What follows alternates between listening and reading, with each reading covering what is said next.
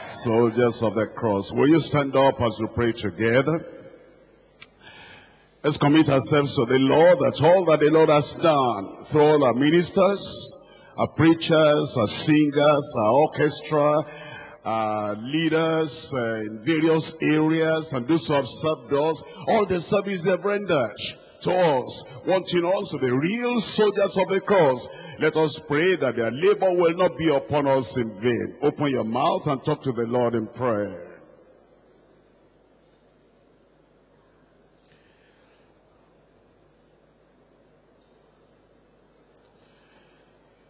In Jesus' holy name we pray.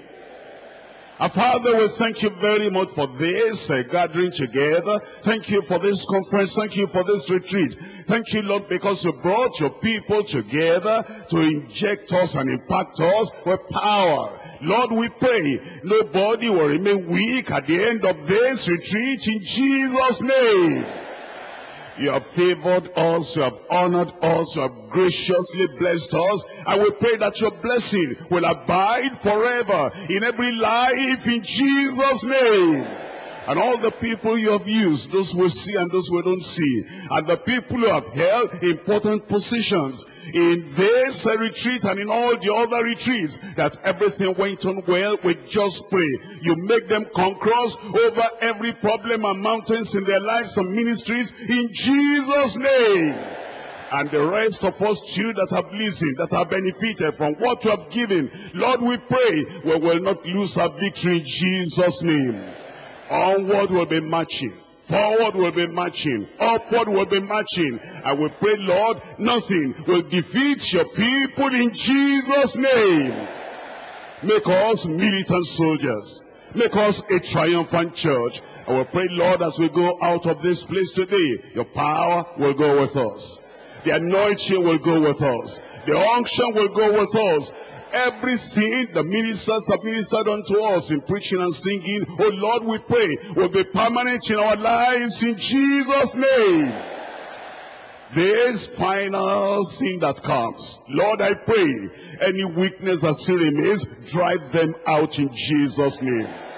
Lord, we're going back to where we came from, but we're going to possess the land. Every place the sole of our foot shall tread upon, we shall possess in Jesus' name. You will not be defeated. Everywhere you go, the courage of the mighty will be in your heart in Jesus' name. And the conquering spirit of a David and the conquering spirit of a Daniel will be in every one of you, every one of us in Jesus' name. Confirm it in every life, Lord. In Jesus' name we pray. And everybody said, Thank you very much. You can see that we praise the Lord for bringing us to the climax and the conclusion of this retreat. And this time we're talking about militant overcomers in the triumphant church. Two things there. Number one, the overcomers. Number two, the church. And then what kind of overcomers? Militant, triumphant, the people that are moving on and there is nothing of weakness in their hearts, in their lives. And what kind of a church? A triumphant church, a victorious church, a glorious church. And that is what the Lord will make us in Jesus' name. Let's see what the Lord Jesus is saying about the calling he has given us and about the very fact that he doesn't produce weaklings. It doesn't produce a weak people, anemic people, impotent people. The blood of Jesus, the prayer of Jesus, the sacrifice of Jesus, the redemption of Jesus Christ produces in us the strength to live a victorious life, a militant life, a triumphant life. We're looking at Revelation chapter 2. And you see what Jesus Christ said, that at the end of the race, what will matter is that you are an overcomer. You'll be an overcomer. Revelation chapter 2 verse 7. He that has an ear, let him hear what the Spirit says unto the churches. It's saying that all we have been hearing, the Spirit of the Lord is speaking to the churches. And then it says, to him that overcometh, I will give to each of the tree of life, which is in the midst of the paradise of God. To him that overcometh, all the promises of God, all the rewards of the Lord, all the commendation of the Lord is not just for every deacon Harry. It's not for every church goer. It's not for the bench warmer. It's for the people that overcome. Sin will try to get in again, but you overcome. And self will try to assert itself again, and you overcome. And Satan will try to wage war against you again, but you overcome. And the promise of the final victory and the promise of the final reward belongs to the people that fight against sin against self, and against all the corruption of society, and against Satan, and they win. In the private, they win. In the public, they win. At home, they win. In the church, they win. Anywhere they find themselves, they win. We're looking at chapter 2, verse 11. In verse 11, it says, to uh, he that has an ear, let him hear what the Spirit says unto the churches. He that overcometh, that's it that's what Jesus is looking for. He's not looking for people that are defeated, their faces on the ground, they have yielded again to sin, to Satan, to self. He's saying, he that overcometh shall not be hurt in the second death. I'm looking at that same chapter, verse 17. In verse 17, he that has an ear, let him hear what the Spirit says unto the churches. To him that overcometh will I give to eat of the hidden manna, and will give him a white stone, and in the stone a new name written, which no man knoweth except saving he that receiveth it. You can see over and over the Lord Jesus Christ saying, I'm coming back. And when I come back, I'm going to be looking for the people that overcome. And I pray that you will qualify that when he comes to be an overcomer, you'll not be overcoming for one whole year, two years, and three years, or ten years, and then the final day, and the final week, and the final month, then you fall, and you do not overcome again, and then the devil takes you and then the enemies take you and they take you captive that you are not able to stand to the very end. I pray that the same courage and conviction and power the lord has given you today will remain until that final day in jesus name. Look at verse 25 it says in verse 25 eh, but that which ye have already hold fast till i come. There's no point just holding fast for one week holding fast only one month, on holding fast only when you were a younger Christian, and then when you become an older Christian, an aged Christian, that you just give up because now you're old. It says, until I come, that which you have, you hold fast. And then it says in verse 26, and he that overcometh and keepeth my works unto the end, to him will I give power over the nations, and he shall rule them with a rod of iron, as the vessels of a potter shall they be broken to shivers, even as I received of my father. And I will give him, and I will give him the morning star. You'll have it in Jesus' name he that has an ear. The Lord Jesus is always saying this, he that has an ear. Because there are some people who don't have ears to hear.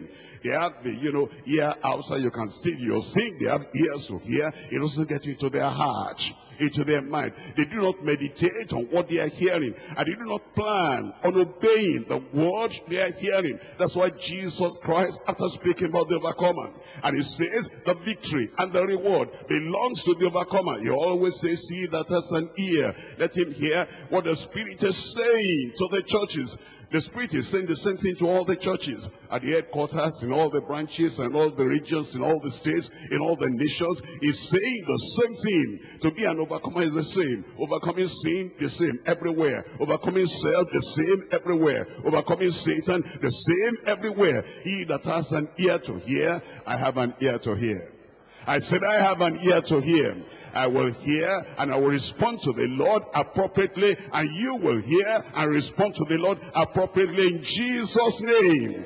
I'm looking at chapter 3 verse 5 it says he that overcometh the same shall be clothed in white raiment, and I will not blot out his name out of the book of life. And but I will confess his name before my Father and before his angels. As you look at that verse, the meaning is this. He who does not overcome, I'll blot out his name. The one who overcomes, I will not blot out his name. But the one that goes out of the retreat, I'm saved, I'm born again, I'm sanctified. I'm filled with the Holy Ghost. And I have special privilege in the household of faith. But then he goes out there, temptation comes, he cannot overcome. Women come, he cannot overcome. Men come, he cannot overcome.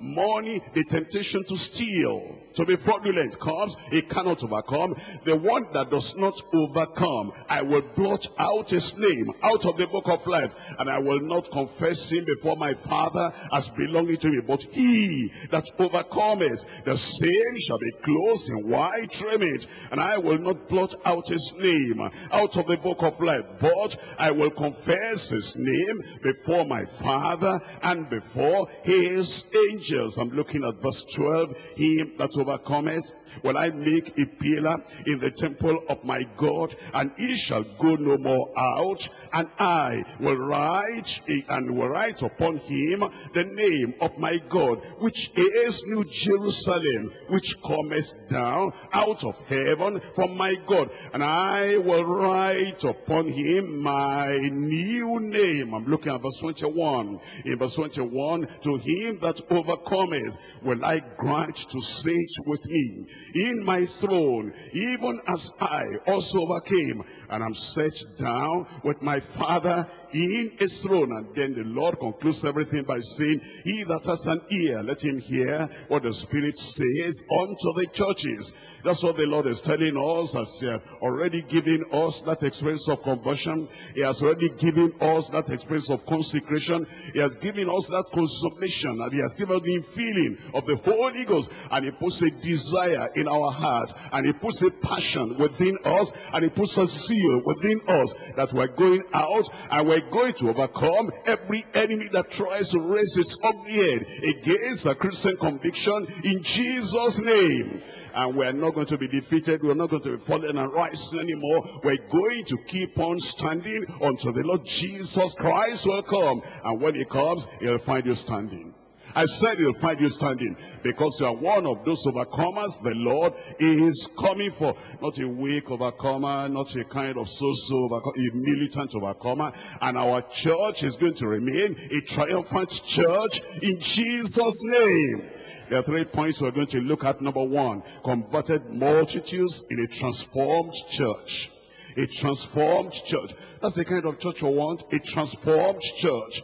Not just a nominal church. You have a name that you live, but you are dead. Not a nominal church. We're not, we're not a traditional church, you know, as it was, so it will be, and so forever it will be. Traditional church. We're not just an orthodox church that, you know, these are the sacraments, and these are these, and all that. We're not like that. We're a transformed church. And in a transformed church, all the members, anyone that claims to be a member of that church will be a converted individual, be real, real Christian. Who are the Christians? Look at Acts of the Apostles chapter 11 verse 26. Acts chapter 11. We're looking at verse 26. It says, And when he had found him, he brought him unto Antioch. And it came to pass that the whole year they assembled themselves with the church. That's the church. They assembled themselves with the church. Not the people who just came to the retreat and after the retreat they say bye-bye. I'll come again next Easter. I'll come again next uh, December. But the people that assemble with the church, they are born again. They are converted. And the passion of their life, the zeal of their lives, the desire of their lives is to be with the people of God gathering together every time to study the word of God, to fellowship with the people of God, and to pray with the people of God. It says they assembled themselves of the church and taught much people. They're teachable. They're people that listen to the word of God and receive the word of God, and their heart is transformed by the word of God. And it says, and the disciples were called Christians first in Antioch. When people saw them, they saw the conversion, they saw the change, they saw the transformation. They said, these are little Christ. Look at that one, a little Christ. Look at that one, a little Christ. Look at that one, a little Christ. That's why they call them Christians in that place for the first time. And I pray that that same conversion will be apparent to be visible in every one of our lives in Jesus' name. In First Corinthians chapter 6, First Corinthians chapter 6, I'm reading from verse 9. It says, Know ye not that the unrighteous shall not inherit the kingdom of God? Don't you know that the people that just darken the, uh, the, the threshold of the church, that is, they just come to the church, they are crawling in and crawling out, and they are not born again, they're still unrighteous. Don't you know that the unrighteous shall not inherit the kingdom of God? Be ye be not deceived, neither fornicators, nor idolaters, nor adulterers, nor effeminate, nor abusers of, of themselves with mankind, nor thieves, no covetous, no drunkards, no revilers, no extortioners shall inherit the kingdom of God. It says, don't deceive yourself. Don't say because I'm coming to church and I'm, you know, I dress like they dress, I remove this, I remove that, but internally, there's no conversion. Don't deceive yourself and say that, well, because of that, you are going to heaven. It says, don't you know that all the righteous people, the people who are like, you know, chameleons, they, they, they look like this when in the midst of the people of God. But when they are outside there, their lives are just like the lives of the unbelievers. It says that that should not be. Then it tells us in verse 11, and such were, not are, not are, this past tense now, and such were some of you. Ye, but ye are washed. That's conversion. He said, you are dirty, but you are washed. You are soiled, but you are washed. You are defiled, but you are washed. There's a change, a transformation that has come upon you. And tell me, when every Christian, every member of the church, when they're all converted, when there's a cleansing, when there's a change and separation from sin, that will be a triumphant church, a transformed church. That's why it says, but ye are washed but she are sanctified, but she uh, are justified in the name of the Lord Jesus and by the Spirit of our God. We're looking at Ephesians chapter 5. I'm just showing you that what matters in the New Testament for a church is a transformed church. Not just a nominal church. Sunday, Sunday we're there, and then Monday we're there, and Thursday we're there, but there's no change. And the word of God is not making an impact in our lives. The people who come to the Lord, they have ears to hear, and the word of God is transforming them and changing them and going from grace to grace and strength to strength and glory to glory. Those are the people that are members of the real church, the triumphant church. And I pray that that will be your Lord in Jesus' name. In Ephesians chapter 5 verse 8, it says, For ye were sometimes darkness, were in the past. That means you are no more the kind of person you used to be, but now are ye light in the Lord. Walk as children of light. That is the conversion. Converted multitudes in a transformed church. As many as we are, might be 500 or might be 1,000 or 100,000 or might be 500,000 or a million, whatever the multitude. People who are born again. People who have transformed life. People who have a change of life that anywhere they go, people can testify about them that there is a change, a mighty change that has happened in their lives. And that's what Jesus said in Matthew chapter 8, chapter 18, verse 3. Matthew chapter 18, verse 3 said, except that conversion has taken place except that transformation has taken place. We are not part of his. I will not be able to inherit the kingdom of God. Matthew chapter 18 verse 3. It says, and he said, Verily I say unto you,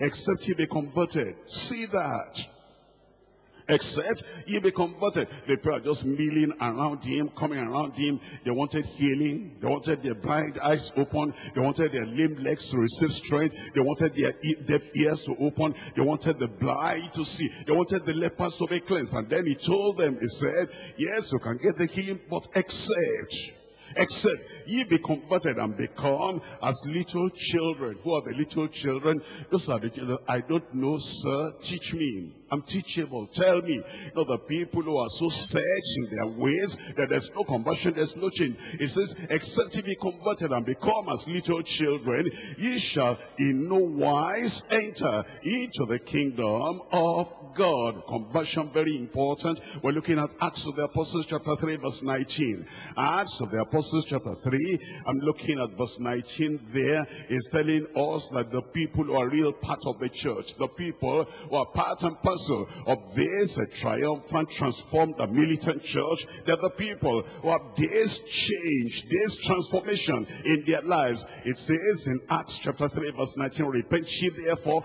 and be converted. Repent ye therefore and be converted. Let there be a turning around. Let there be a transformation in your life that you'll be able to say, I was there. I knelt. I stood. I prayed. I called upon the Lord. And the blood of Jesus washed me and cleansed me. I am no more the man I used to be. I'm no more the woman I used to be. I'm no more the boy, the girl I used to be. Things are different now because I repented and believed on the Lord Jesus Christ. He changed me.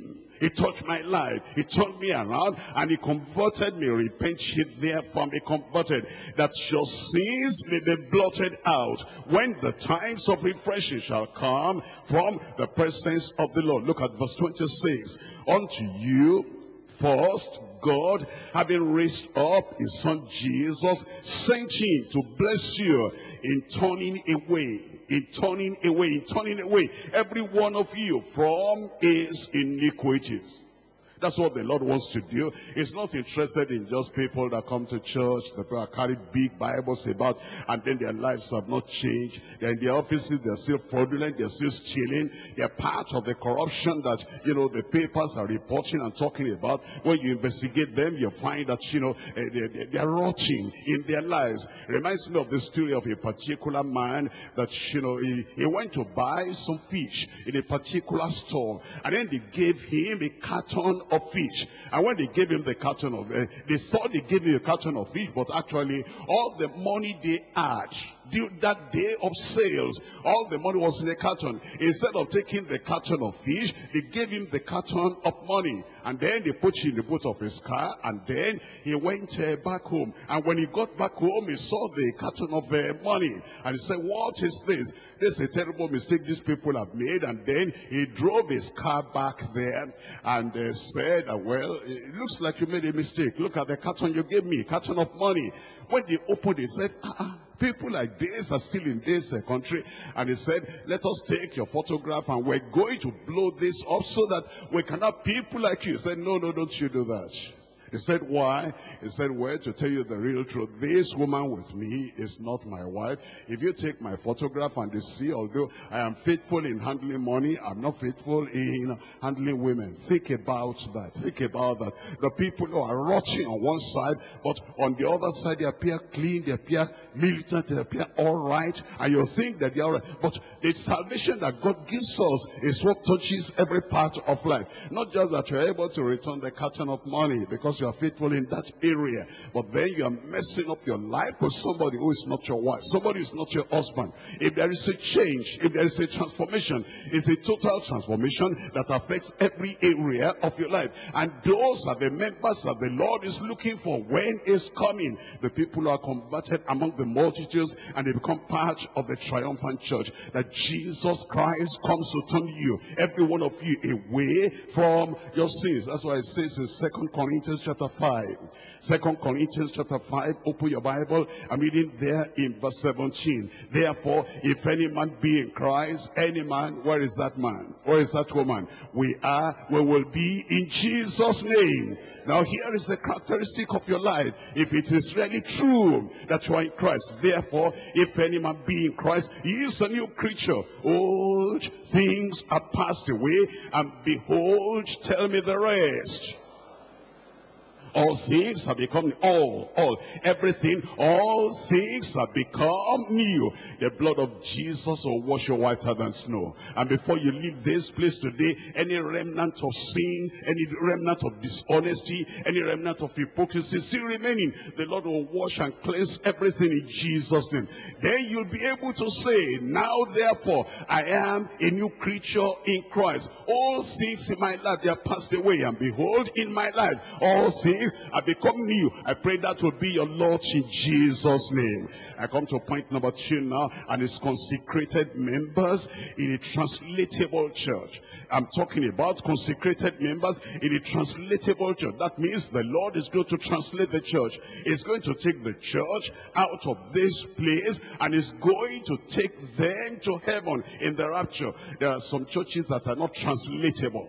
That is, the Lord cannot translate them. The Lord cannot take them to heaven like we took Enoch to heaven. But a translatable church, a church that when Christ comes, when the trumpet shall sound, the dead in Christ, not just the dead, not the dead in sin, the dead in Christ, they shall rise up. And we which are alive, alive in righteousness, alive with sanctification, alive with holiness. It says those who are alive, alive in the Lord, they'll be caught up together with them, translated and taken to heaven. That kind of translatable church, you are part of that. And if you are part of that, you must be a consecrated member of the church. Consecrated members in a translatable church. First Corinthians chapter 15. In First Corinthians chapter 15, verse 51, it says, it, it says, Behold, I show you a mystery. We shall not all sleep, but we shall be changed. Give me a good amen in a moment, in the twinkling of an eye. In a moment, in the twinkling of an eye. You must have been saved before that time. There'll be no time to repent when Jesus Christ comes because it will happen in a moment, in the twinkling of an eye. There'll be no time to make restitution when Jesus comes. If there's going to be any restitution, it is now. There's no time to pray for holiness and sanctification at the time when Jesus Christ will come because he will come and it says in a moment, in the twinkling of an eye, then it says in that place, uh, at the last trump, for the trumpet shall sound, and then it says, and the dead shall be raised incorruptible, and we, those of us who are still alive, alive in holiness, alive in righteousness, alive in sanctification, alive in separation from the world. It says, and we shall be changed. You'll be there in Jesus' name. That's why it says in verse 58, therefore, my beloved brethren, those who want to express that rapture, therefore, my beloved brethren, those who want to be part of that mystery that will take place, therefore, my beloved brethren, be ye steadfast, unmovable, always abounding in the work and in the word of the Lord. For as much as you know that your labor is not in vain in the Lord, the rapture is going to happen anytime from now, and I pray you'll be there. And I pray I will be there. And I pray we shall all be there in Jesus' name. What if the rapture happens and you're not there? What if the rapture happens? You know, you have been healed, you have been delivered, you have been blessed, you have money, you have wife, you have children, you have husband, you have everything that we can talk about. Name it and claim it. You've claimed everything. And what if the rapture then happens and then you are not eventually there? What will happen? I'm looking at First Corinthians there. In First Corinthians, it's in chapter 15. It says that in verse, in verse 19. First Corinthians chapter 15, verse 19. If in this world, only in this life only, we have hope in Christ, we are of all men the most miserable. If you're part of this church and then you have all the privileges, you have all the opportunities and people honor you, brother so and so, sister so and so, pastor so and so, whatever, leader so and so, or they call you overseer so and so, bishop so and so, whatever they call you, and it's only in this life. And then the rapture takes place and there's hidden sin. There's a sin you're hiding and you are committing that sin over and over and over. You come to the retreat, you still go back and commit that sin. And then people don't know because of that, they respect you. You are the, you know, the number one, you are the number two, whatever, in your district, in your group, in your state, your region. And yet you are not living a victorious life. And then eventually the rapture takes place, if only in this life. If in this life only we have hope in Christ, we'll be of all men the most miserable. I pray that will not be your Lord. I'm looking at First Thessalonians chapter 1 verses 9 and 10. First Thessalonians chapter 1. First Thessalonians chapter 1 verses 9 and 10. For they themselves show for us what manner of entering in we add unto you, and how ye have turned to God from idols to serve the living and the true God, and to wait for his son from heaven. We're waiting for a son from heaven. And because of that, when a waiting spirit, waiting attitude, you wake up in the morning, Lord, I don't know, you might come today, I'm waiting. And then you, you enter a new week, oh Lord, you might come this week, I don't know, I am waiting. You enter a new month, oh Lord, you might come this month, I don't know, I'm waiting. You enter into a new year, I don't know, you might come this year, I am waiting. When you have that waiting spirit, anything that comes say no, I don't want to be disqualified. This temptation is coming, I don't want to be disqualified. Why don't you get involved in fraud and take this million of uh, naira or pounds or cedis or whatever. You say, no, I cannot say that because I'm waiting for the coming of the Lord. It is the people that have that attitude of waiting. And they say, I can't touch that. I can't do that. I can't go there. I can't wear, I can't, you know, get involved in that thing because the Lord is coming anytime from now. Those are the people having the waiting spirit and you will not be disappointed on the final day in Jesus' name. And to wait for a son from heaven, whom he raised from the dead, even Jesus which delivered us from the wrath to come. I'm looking at chapter 4 verse 15. First Thessalonians chapter 4 verse 15. It tells us over here in verse 15, it says, uh, for, the, for, for this we say unto you by the word of the Lord, that we which are alive and remain unto the coming of the Lord shall not prevent them which are asleep. But the Lord himself shall descend from heaven with a shout and with the voice of the archangel and with the trump of God and the dead in Christ shall rise forth. Then we which are alive, I pray you'll be there. I said you'll be there and remain shall be caught up together with them in the clouds to meet the Lord in the air. And so shall we ever be with the Lord. You'll be there in Jesus' name. You know, it's just like Enoch that walked with God all those 300 years. She was, he wasn't rising and falling, you know, today up and tomorrow down, today on the mountain top and tomorrow in the valley. Just consistent Christian living, consistent righteousness, consistent holiness, consistent purity of heart and life. And what we don't know about his wife, we don't know about the children, we don't know whether they were walking the truth or not, but he determined and decided, whatever my wife does, I'm going to follow the law. Whatever my neighbors do, I'm going to follow the Lord. Whatever my children do, I'm going to follow after the Lord. And consistently for those 300 years, he kept on following the Lord. Not that I cannot be a Christian. I wanted to be consecrated, converted, committed to the Lord. I wanted to be a person that is consistent. But you know, eh, the people around me will not allow me. He said, no, whatever they do, that doesn't matter to me. Others may, I cannot, I will not. I must follow the Lord. And those are the people that are men of conviction, women of conviction, that will say, no, you can do whatever you want to do. I am going to follow the Lord to the very end. Those are the people that are going to make it at the rapture. You'll be there in Jesus' name. I said you'll be there in Jesus' name. Look at the life of that man. Genesis chapter 5, I'm reading from verse 22. Genesis chapter 5, and I'm looking at it from verse 22. Genesis chapter 5, verse 22. And Enoch walked with God after he begat Methuselah 300 years, and he begat sons and daughters. And all the days of Enoch were 360 and five years. And Enoch walked, Enoch walked, Enoch walked with God. And he was not, for God took him him. He was not, for God took him. You know, he remained in that righteousness and holiness. He didn't say, well, look at this, my children. Don't allow children to disturb you or to hinder you from making it. If uh, What if uh, you allow them to disturb you or to derail you or to distract your attention? That means they will not make it, you'll not make it. I think if we're five, uh, you know, father and mother and three children, if the children decide they don't want to make it, what if, you know, you just continue with the Lord so that it's not the five of you that will live and that will miss that heaven. I pray you'll not miss it in Jesus' name.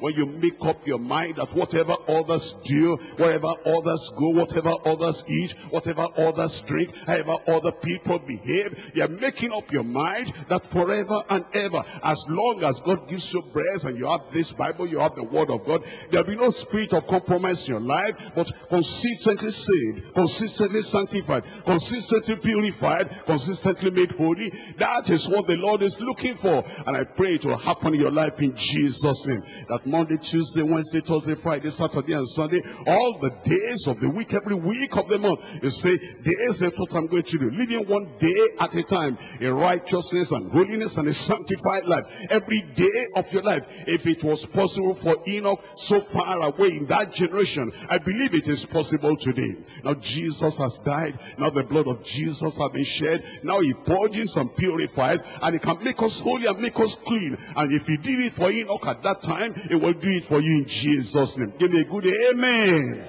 And that's why the Bible says in Hebrews chapter Hebrews chapter 11, you look at this, uh, the New Testament comment concerning this uh, man, you know, Hebrews chapter 11, we're talking about this in verse 5. It says, by faith, it was, uh, by faith Enoch was translated, a translatable church a rapturable church, a church that is living today, living in righteousness consistently, and you want to be ready for that time Enoch was translated that he should not see death and was not found because God had translated him. For before his translation, he had this testimony that he pleased God. Why did he live like that? Because he knew that judgment was coming. Look at what he said in Jude.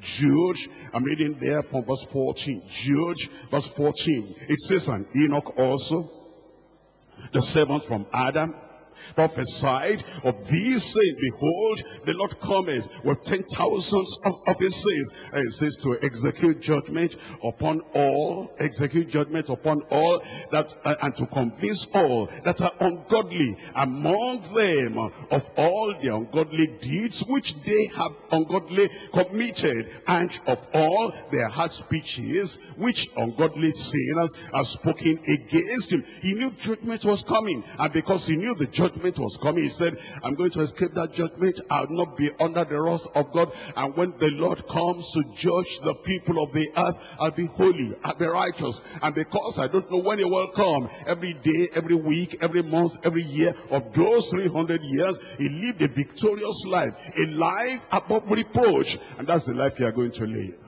I said that's the life you are going to live. And that's the reason why Enoch lived a translatable life. And then the church, every member of the church, believing that the Lord is coming, every member of the church applying the blood of Jesus every time and every moment, we're able to live that rapturable life, holy life, sanctified life, and a purified life. We're looking at First John chapter 3 verse 1.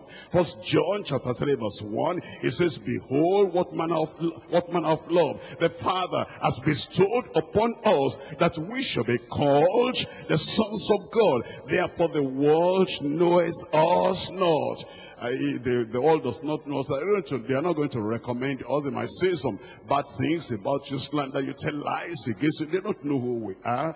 And they misunderstand our holiness. They don't know who we are. They misunderstand our kind of uh, transparent life. They don't know who we are. They misunderstand our messages. They don't know who we are. But that should not bother because it says over here, therefore the world knoweth us not because he knew him not. Beloved, now are we the sons of God and it does not yet appear what we shall be, but we shall, we shall be like him, because we shall see him as he is. And every man that has this hope in him purifies himself, even as he is pure. The purity you're looking for is not the purity of David, that is, you know, once there, but not always there. Not the purity of Solomon, that has, appears to be wise, but then he wasn't wise unto salvation. He wasn't wise unto separation. He wasn't wise unto sanctification. He wasn't wasn't wise in living a purified life. But you're looking for that purity of Christ and the sanctification in Christ and the holiness of Christ and the righteousness of Christ. Every man that has this hope in him purifies himself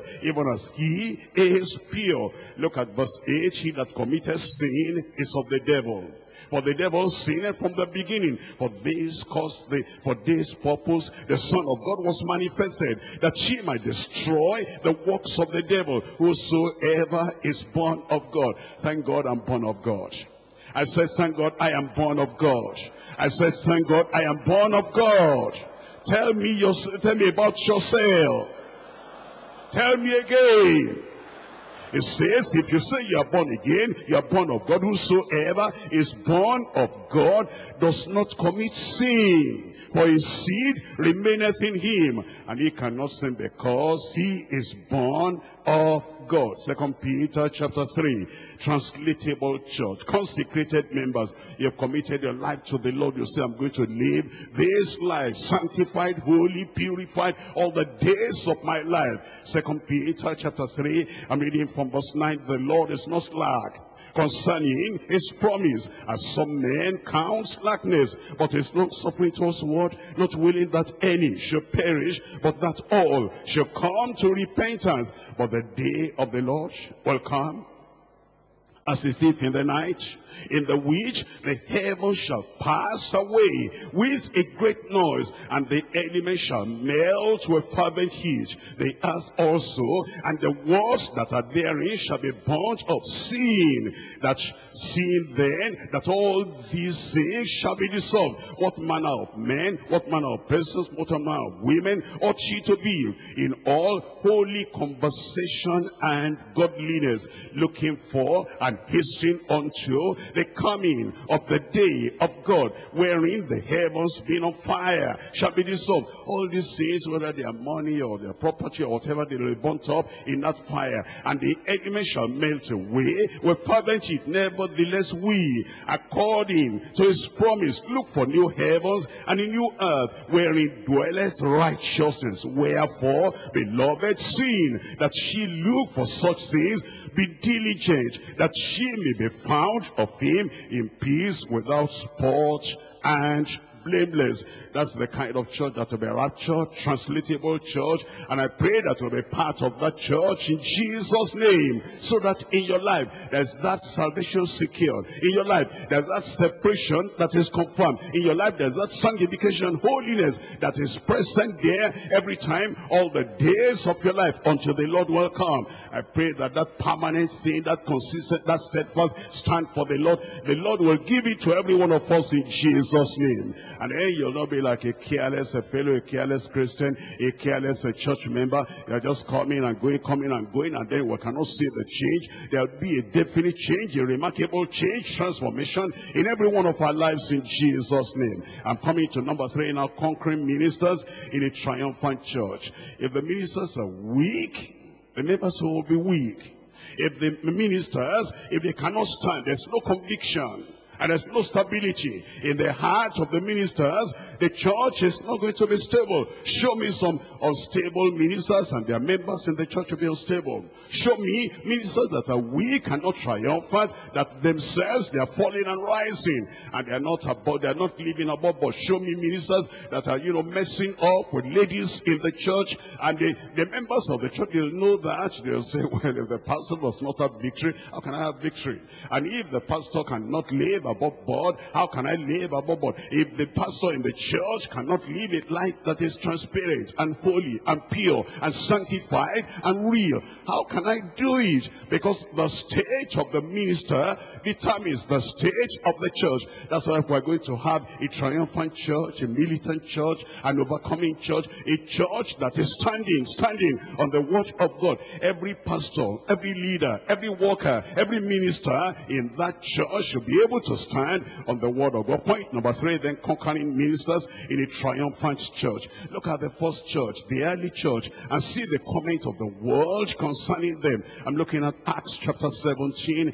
I'm looking at the latter part of verse 6. Acts chapter 17, the latter part of verse 6. If you look at the last sentence there, it says, These that have turned the world upside down are come hither also. Those were the militant ministers and those were the ministers of the early church. They turned the world upside down. They were strong in their hearts. They were men and women of conviction. They were apostles of conviction. And not people that didn't have any backbone. They couldn't stand any kind of threats, any kind of persecution coming from the Pharisees. Then they'll be cringing. No, not at all. Those were the people that had a backbone. And they planted their feet on the rock of ages. And all the things that blew against them, persecution and pressure, everything, they were able to stand. And if the church is going to be triumphant today, our ministers must stand. We must be conquering ministers to produce and to have a triumphant church. Look at chapter 4 of Acts of the Apostles. Acts of the Apostles, I'm reading from chapter 4, and I'm looking at it from verse 9. It says in verse 9, if we, uh, let, let, me back up to verse, uh, let me back up to verse 7. It says, and when they have set them in the midst, they ask, by what power? Or by what name have you done this? Then Peter, filled with the Holy Ghost, I said unto them, ye rulers of the people and elders of Israel, if we this day be examined by, uh, of the of the good deeds done to this impotent man, by what means he is made whole, be it known unto you, unto you all, and to all the people of Israel, that by the name of Jesus Christ of Nazareth, whom ye crucified, whom God raised from the dead, even by him does this man stand here before you whole. This is the stone which was set at naught of you builders, which is become the head of the corner. Neither is there any sal salvation in any other, for there is none other name given under heaven, given among men, whereby we must be saved. That's boldness. That's bold, righteous boldness that Peter manifested. That's what the Lord is calling us to, those of us who are ministers. But you know, if you're kind of a money lover, and then you're kind of befriending the people that are rich in your congregation, and then when something goes wrong with their lives, you cannot talk because they're giving you that extra money, that extra pay, and they made you to, they make you to be on their pay list. Apart from all the benefits you're having in your ministry in the church, you're still depending upon them. You cannot talk. You're not be bold. And if you are a servant of those religious people, and because uh, this retreat is uh, going all over in deeper life, I want to say that deeper life is not subservient to Christian Association of Nigeria. Deeper life is not subservient to the Pentecostal Fellowship of Nigeria. We stand on the totality of the word of God. And don't you ever think that we're under the control of kind of PFN. We're under the control of the Lord Jesus Christ. And when anything goes wrong in all that, all the churches or whatever, we take our stand and we say, this is what the word of the Lord says. And so we don't want any of us you know, uh, going to that place. I want to be an officer there. I need to compromise a little and change this a little so I can have an office in CAN. I can have an office in PFN. We stand on the watch of God. Once we begin to lobby for position, lobby for recognition and lobby for this and that will not be able to stand on the word of God and will not be able to have a triumphant church. But this church will be a triumphant church in Jesus name. Give a good amen and, and the members can help us. The members can help us. When you see that your minister is becoming a cringing minister, a money-loving minister, a covetous preacher, a, a covetous uh, minister, when you see that your minister is, you know, is a kind of a, having secret affair with any woman in the church, well, I will not talk. They will not hear from me. The church will not be triumphant. You know the truth and you know what they're doing. And you will never talk about it. You will speak out. Don't write anonymous letters. Write your name there. I am the one saying this about this minister is compromising. He's not living according to the word of God. I will call the fellow and will tell him that this is what your members have written, that you are not living right, and then we're able to do the right thing without any partiality. That is what is going to make the church a triumphant church. And I pray that until Jesus comes, whether short or long time, I pray that this church will remain militant and triumphant in the truth in Jesus' name. I thought you'll give me an amen there. Acts of the Apostles chapter 5. Acts of the Apostles chapter 5. I'm reading to you there from verse 28. Acts of the Apostles chapter 5 verse 28 saying, Did we not strictly command you that ye should not teach in this name? And behold, ye have filled Jerusalem with your doctrine, and you intend to bring this man's blood upon us. Then Peter and the other apostles answered and said, We ought to obey God rather than men. They accused them, You filled Jerusalem with your doctrine. They thought that will make them afraid. You know, we have authority to persecute you and to even kill you if we want to kill you. And because we have an opportunity and we have the authority to destroy you and to oppress your life, don't you shut, we must shut up. And it says, they said, we ought to obey God rather than men. Those are the militant believers and militant apostles and militant ministers that can keep the church triumphant. The people that are not looking for anything. You're not looking for name. You're not looking for reputation. You're not looking for exaltation. You're not looking for, you know, the popularity that comes in. Oh, don't lobby for anything. Just, I just want to do the will of God and preach the word of God. It is such conquering minister. It's such an uncompromising minister that will be able to keep the church triumphant. And I'm praying that all our workers will be like that. I said all our workers will be like that. And then all our ministers too will be like that in Jesus' name. And that's why we're told in Acts of the Apostles chapter 20, if we're going to be like that, here is the calling that the Lord is giving us. Acts of the Apostles chapter 20, I'm reading there from verse 28. Acts chapter 20 verse 28, take heed therefore unto yourselves. This address to ministers and to preachers and to workers and to leaders in the church that is going to be a transformed church a translatable church and a triumphant church. Take heed, therefore, unto yourselves and to all the flock over the which the Holy Ghost has made you overseers to feed the church of God, which he has purchased with his own blood. Feed us with the truth. Feed us with righteous messages. Not all these uh, kind of messages just to make us feel happy and make us feel excited and then just make us to clap for you at the end of the message. Give us the bread of life that will change our lives, that will transform our lives. And then we will know you are a committed and you are a consecrated and you are a conquering minister raising up a triumphant church. In Jeremiah chapter 3, look at the kind of pastors the Lord said he will give us. And if your pastor is not like this, let us know about it. The ministers and the pastors that preach the word of God and feed us with the word of truth. Those are the pastors the Lord has promised us. If we don't have that kind of pastor in any of our branches, let's know about it so we can give you a minister, a pastor, not somebody who is like, you know, wanting to befriend everybody, gather the people around, mobilize and motivate and make people laugh and all that. Our people are not that. The people that stand on the word of God, on the unchanging word of God, that are not going to compromise because they want, uh, you know, the money bags in that place, you know, to feed them or to do something for them. I'm looking at Jeremiah chapter 3 verse 15. Jeremiah chapter 3 verse 15. And I will give you pastors according to mine heart, which shall feed you with knowledge and understanding. That's the kind of pastors that will be able to raise up a rapturable church a translatable church, a triumphant church, a transformed church, pastors that feed. They feed the people with the totality of the word of God. And I pray that I will remain like that.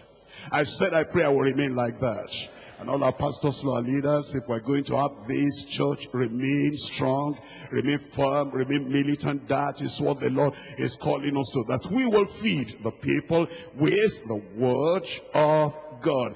I'm looking at Matthew chapter 16. Matthew chapter 16. I'm reading there from verse 18. The kind of church Christ is building and the kind of church he promised. Look at Matthew chapter 16 and we're reading there from verse 18. It says, And I say unto thee that thou art Peter. Upon this rock I will build my church, and the gates of hell shall not prevail against it. Give me a good amen. And that's why they went out and see how they did it in Mark chapter 16. Mark chapter 16, I'm reading there from verse 20. Mark chapter 16, we're looking at verse 20. And they went forth and they preached everywhere, the Lord walking with them. If you're preaching false doctrine, the Lord will not walk with you. If you're kind of hiding the truth from the people, the Lord will not walk with you. But ministers will speak the word of God without fear and without favor. It says the Lord walking with them and confirming the word with signs following. Is there an amen there? First Timothy, First Timothy chapter 4, in First Timothy chapter 4 verse 15 and 16. It says meditate Upon these things give thyself wholly unto them, that thy profiting may appear unto all. He's talking to Timothy, he's talking to the ministers that to meditate upon the word of God you are hearing. And you give yourself completely, abandon yourself completely to the word of God. Read the word, meditate on the word, search the word, apply the word to your own life, and then go forth and declare that word without fear, without favor. It says in verse 16, take heed unto thy thyself and unto the doctrine. Continue in them, for in doing this thou shalt both save thyself and them that hear thee. Look at chapter 5. I'm looking at chapter 5, verse 20.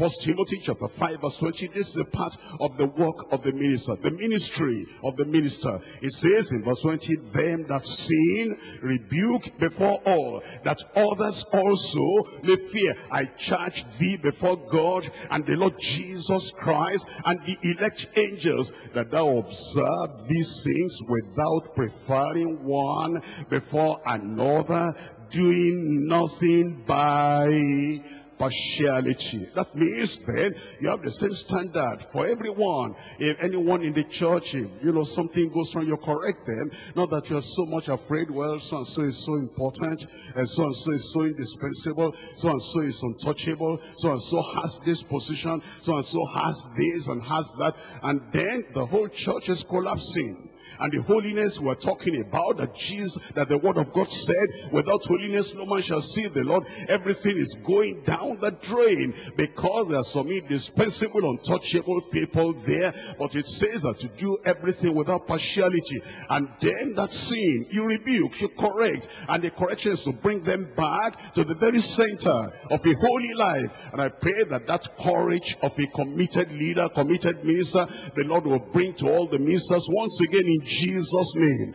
There should be no minister in our in our midst. There should be no minister that should sugar daddy, daddy, daddy, daddy, sweet daddy, sugar daddy, and then it doesn't have backbone, cannot rebuke sin, cannot say this is the right way, walk ye in it, and everything becomes just a kind of a, a fellowship that has no standard. We're going to maintain the standard in Jesus' name. And it is when the ministers are courageous and they're ministers of conviction that they can stand on the word of God. And there's nobody that is, you know, untouchable, indispensable. And, in the, you know, we can't talk about that person, that person, because if you do, the whole church will scatter. That's not a church. That's not a church. If that church is going to scatter, let it scatter. And let the people that want to go to heaven, let them remain. It's not the multitude. It's not the thousands and the millions. It's the people that say, I want to get to heaven. I want to help other people to get to heaven also. That is the church. Christ is building. And we're going to be part of that church in Jesus' name. I said we'll be part of that church in Jesus' name. Let's say, for example, a pastor commits adultery or commits, uh, you know, immorality or steals church money, and then we say, pastor, come on here, stay aside. And then some people, they, they come up, they say, if the that pastor, yes, we know that he committed this, he committed that. If that pastor is not brought back here, we're not going to remain in the church. You can go, you can leave. And then the rest of us that want to get to heaven will remain where the church abide, where the truth is. You came into the church because we preach the truth. And if you're coming in, into the church, will make us abandon the truth, it's better you go so that we can remain a triumphant church, a rapturable church, a translatable church. That's what we're going to remain in Jesus' name. Give me a good, good amen. That's what, that's why the Lord is saying that if we're going to remain a church like that, all our ministers, all our members, there must be conversion, there must be consecration, there must be that conquering spirit in everyone. And the Lord has promised to us is going to do that, and we're going to remain in the word of God in Jesus' name. And now we're going to read again what Jesus Christ said, and you want to make up your mind, you'll be part of that church. I will be part of that church. I said I'll be part of that church. I said I'll be part of that church. I'm looking at Matthew chapter 7. Matthew chapter 7, I'm reading there from verse 24. Matthew chapter 7, we're looking at it from verse 24. In Matthew chapter 7, verse 24, here's what it says, Therefore, whosoever heareth these sayings of mine and doeth them, I will liken him unto a wise man which built his house upon a rock. And the rain descended, and the flood came, and the winds blew, and beat upon that house, and it fell not, for it was founded upon a rock. Upon a rock, the rock of ages. And this church is built on that rock. Whatever persecutions come, we're going to stand. Whatever trials come, we're going to stand. You know, since we started this Deeper Life 1973 until now, some have gone, some have left, some have said, that's too much for me. Some workers, some pastors, some of overseers, they left. But thank God, thank God, they're living. They don't make Jesus absent. Jesus is still here.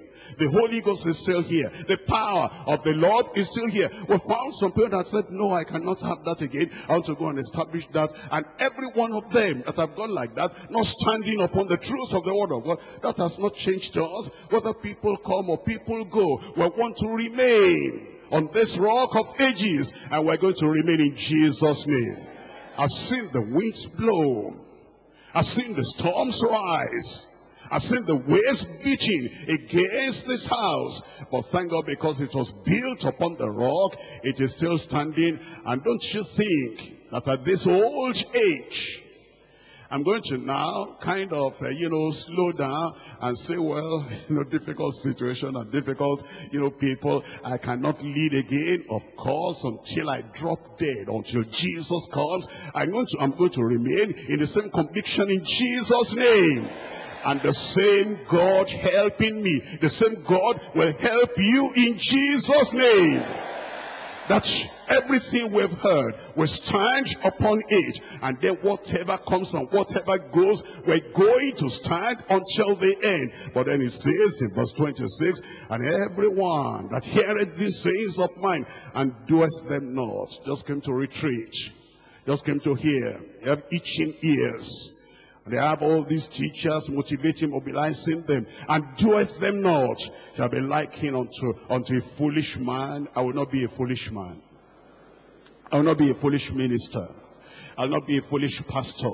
I will not be a foolish leader. You will not be a foolish person in Jesus' name. But the people that hear these sayings of mine and doeth them not, I liken them to a foolish man which built his house upon the sand, and the rain descended, and the floods came, and the winds blew, and beat upon that house, and it fell, and great was the fall of it. Your church will not fall. I said your church will not fall. But takes a standing minister to make the church stand.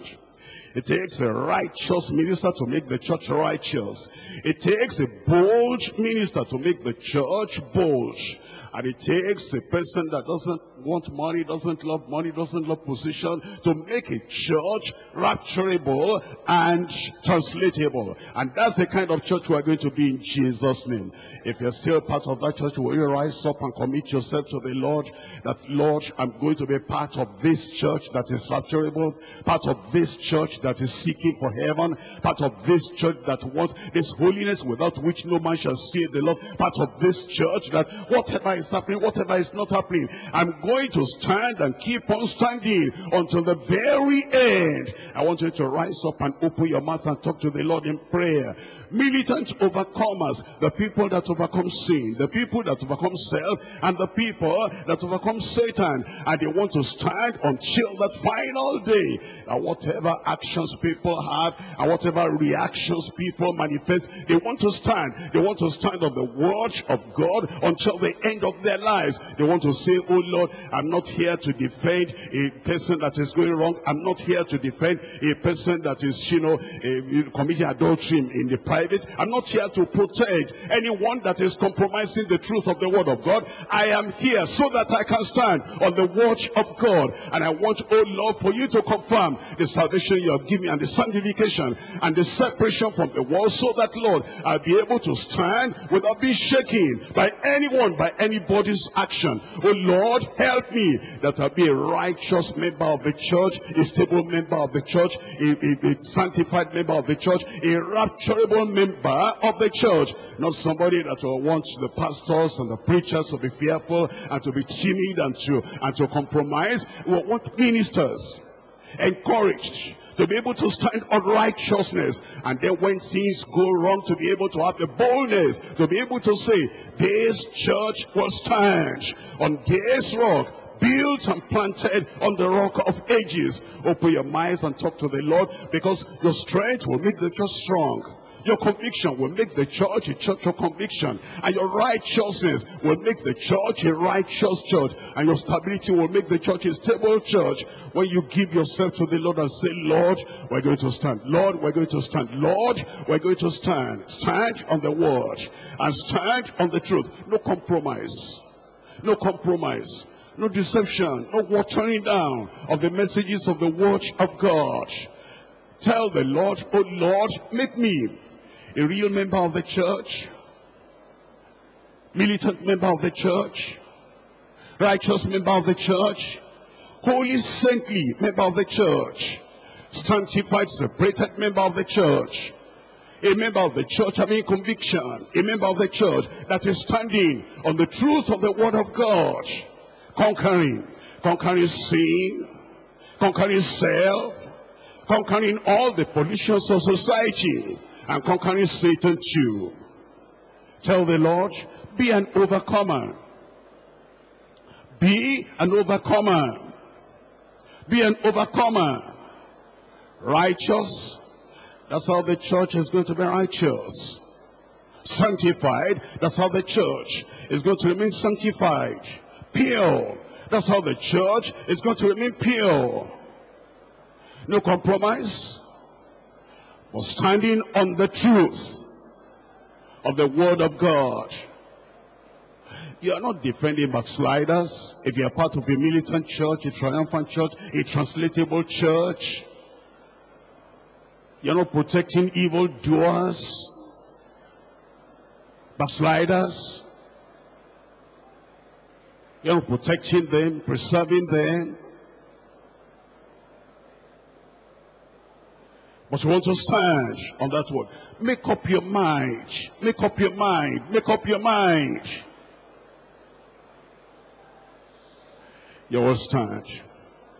You will stand.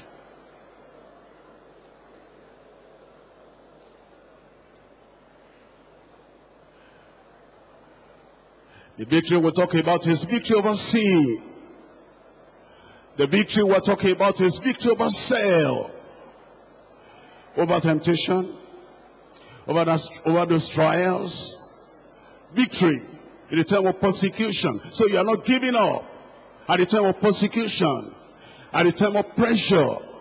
You are still saying, Oh Lord, I'm going to stand by everything you have taught me as a member of the church, as a minister in the church, as a worker in the church that you want to preserve this holiness without which no man shall see the Lord. You are committing yourself to the Lord and you're saying, Oh Lord, make me stand. When the winds blow, when the floods come, when compromise is knocking at the door, help me Lord to stand. Commit yourself to the Lord as we go into the new year. You go into the new year with holiness. Go to the new year with sanctification. Go into the new year with courage. Courage to stand. As you go into the new year, you go into the new year with faith in the word of God. Steadfastness in the word of God. Holding onto the truth until he comes. When he comes, money will not matter. When it comes, how many children you have will not matter. When it comes, property will not matter. When it comes, there's only one thing, just one thing that will matter on the final day. That holiness of heart without which no man shall say the Lord. Stand therefore on that truth, on that word, and preserve, and preserve that indispensable experience don't just have church, assembly, living in carelessness and sin. Stand for the truth. Make sure that in your private life, that righteousness is there, that holiness is there, your public life too. That righteousness is there. And be a militant overcomer. A militant overcomer in a triumphant church. Triumphant. Triumphant. Not trembling, not fearful, afraid of this, afraid of that Give yourself wholly and fully, completely, unreservedly unto the Lord. That we're going to live this life by His grace.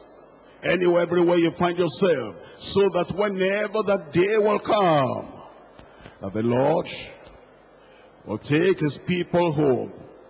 You will be there. You will be there. You will be there. You will be there. And it takes that holiness that God can see through, transparent, present everywhere. So you're not a nominal bench warmer in the church. You're converted. You're consecrated. You're committed. You're continuing in the word, obedience to the word, until the very end. But they that shall endure unto the end, the same shall be saved. Promise the Lord, by your grace, we will, I will. Your strength, we will, I will. In the power of the Spirit, we will, I will. The promise and the provision of the word, we will, I will.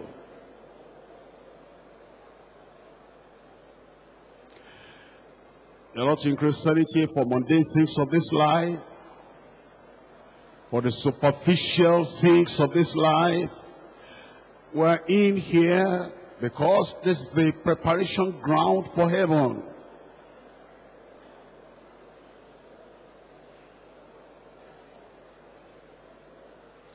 Make up your mind.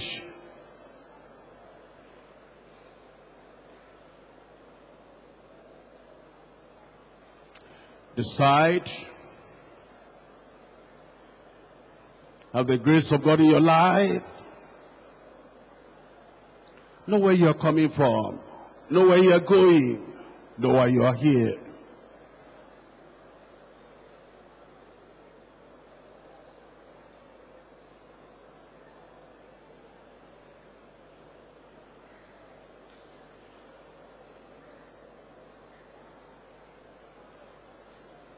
Tell the Lord to keep you faithful until the very end. There's still any sin abiding, remaining, get rid of them. Be washed, be cleansed, be purged by the blood of the Lamb. Any carelessness,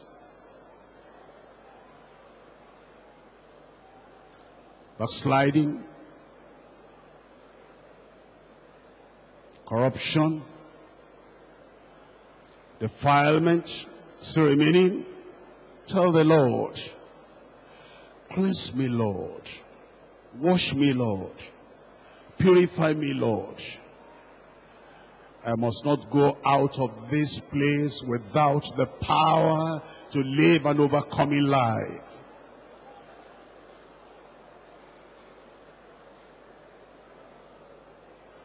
I must not go out of this place.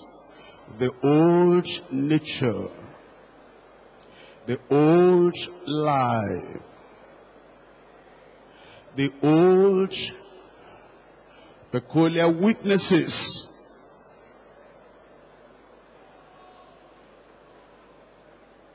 triumphant, translatable, transformed. Let the Lord do it. So you are going out a consecrated believer, a committed believer.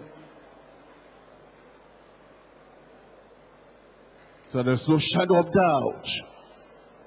What you believe. No shadow of doubt where you stand. That you hate sin with a passion.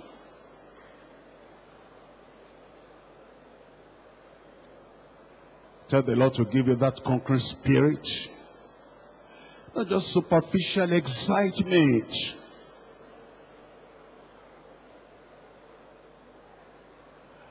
Something deep. Something rich. Something within your soul, within your spirit. To be a conqueror more than a conqueror. Overcomers,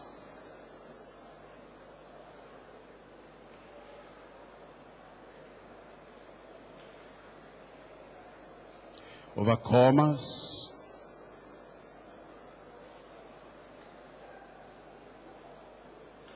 overcomers,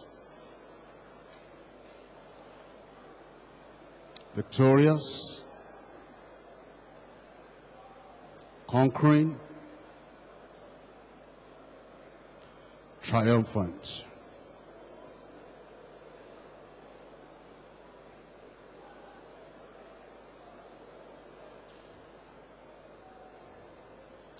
In Jesus' name we pray.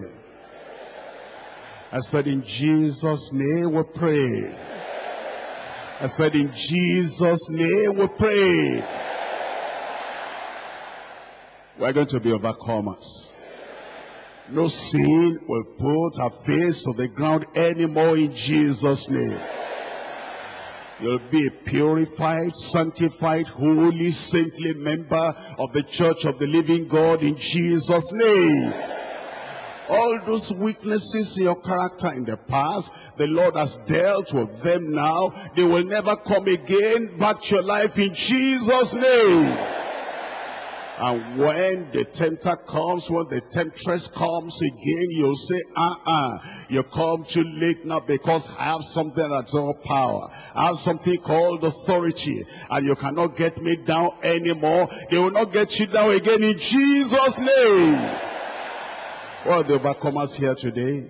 Praise the Lord. Praise the Lord. Overcomers, overcomers.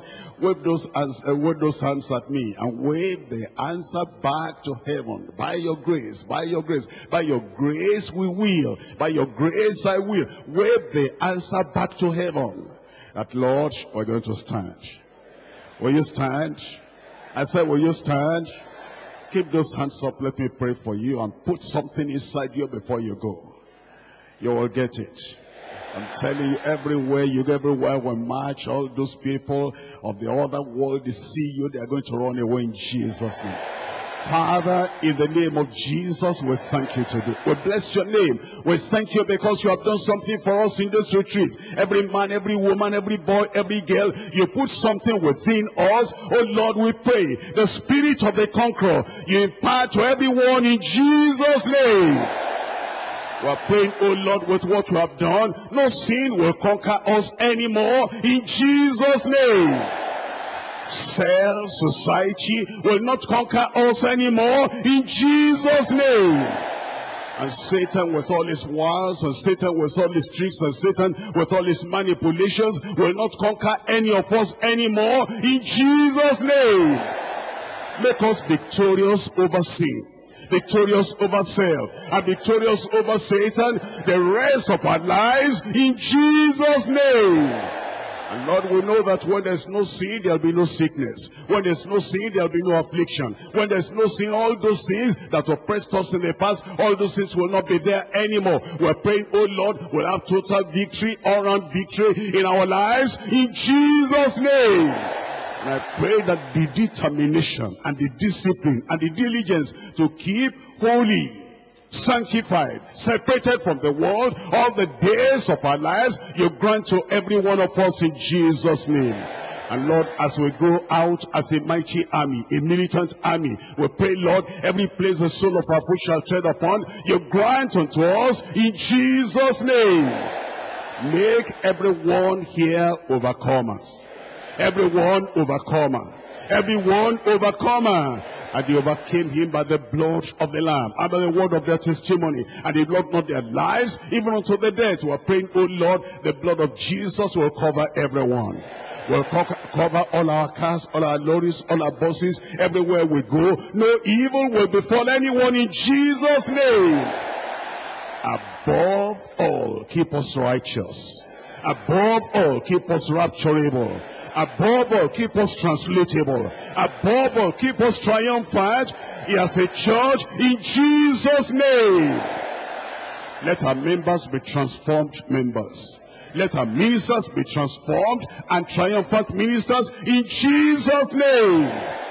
Let your power go with us. Let the anointing go with us. Let the authority go with us. And let your word, your doctrine go with us in Jesus' name. And when we see again, if Jesus tarries, we'll come back with loads of testimony. With loads of testimonies. With loads of testimonies. And Lord will be able to tell how you have made us victorious in every area of our lives. Confirm it in every life, oh Lord, in Jesus' name. We thank you because we know you have answered. In Jesus' mighty name we pray. And everybody said, Go as a valiant man, a valiant, a valiant woman in the strength of the Lord and keep on conquering in Jesus' name.